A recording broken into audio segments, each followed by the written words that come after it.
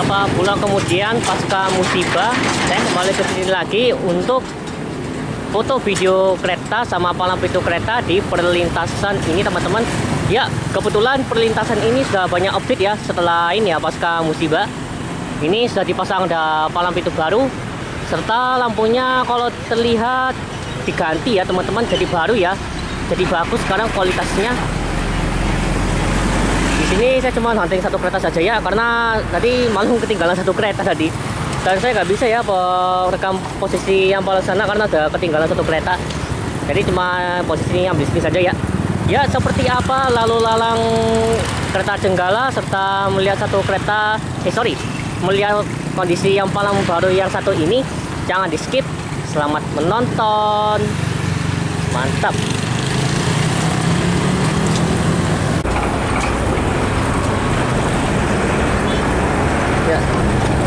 dari sini kelihatan jauh ya ada, ada lampu keretanya dari sana. Yaitu dianya kereta apinya kereta api Jenggala.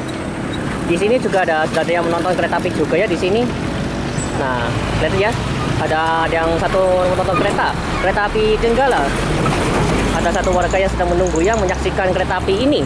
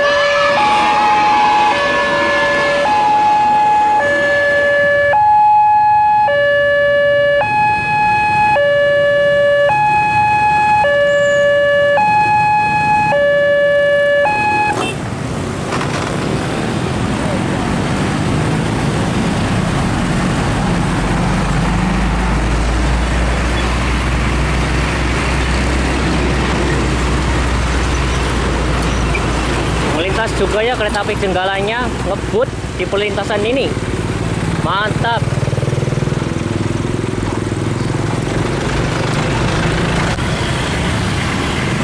Besokan harinya saya kembali ke sini lagi untuk melanjutkan foto video kereta sama palang pintu kereta di perlintasan ini. Oh ya nih teman-teman, katanya ada kereta kereta luar biasa nih yang mau melewati ke jalur yang jarang yang dilewati kereta yang di sini teman-teman, yaitu kereta inspeksi 3 dari dari Sidoarjo mau ke Tulangan lanjut ke Tarik ya teman-teman. Jadi kita tunggu kereta kereta spesial ya yang mau melewati jalur yang jarang dilewati ya di perlintasan ini. Saksikan terus ya.